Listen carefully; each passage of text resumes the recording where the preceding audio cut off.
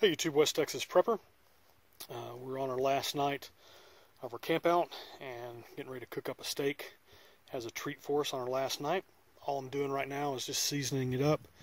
Got the fire going, the coals are almost ready, and the grill on, getting it warmed up. And what I've got on here right now is just some seasoning. It's called Red River Ranch Seasoning. This is from Kent Rollins.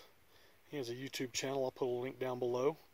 Uh, this is great stuff. Uh, really enjoyed a lot of his videos. He's got a great beans recipe, does some great Dutch oven cooking that I've been following, trying to get better at that. And so we're just getting this seasoned up right now. Got a little that on, getting ready to put some salt and pepper on there, and then it's going to go on the grill pretty quickly. Let me show you the grill I'm using. Had a gentleman make this for me. I'll put the information down there annotated in the video at some point. But uh, just a little expanded metal welded up foldable frame. I think it's probably about 12 inches by 11 inches or 12 by 10. I'll get some measurements on that for you when we get back to town and do that. But it's a great little grill, and I'll bring you some reviews on it a little bit later on. But back to getting that steak going. All right, this baby's all seasoned up.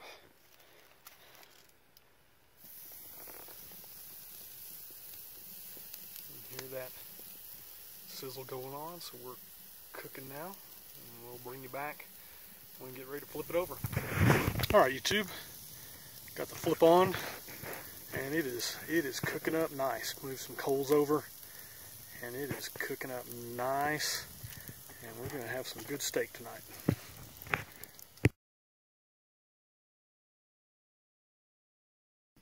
All right, we've got it off the grill. I've got the rice warming up right now, so what I'm going to do is cover this up and let it rest a little bit before we cut it up and we'll bring it back to you when we get that thing opened up and see how it looks. Alright, let's cut into this steak and see how it looks. Well, it's got some juices running off there.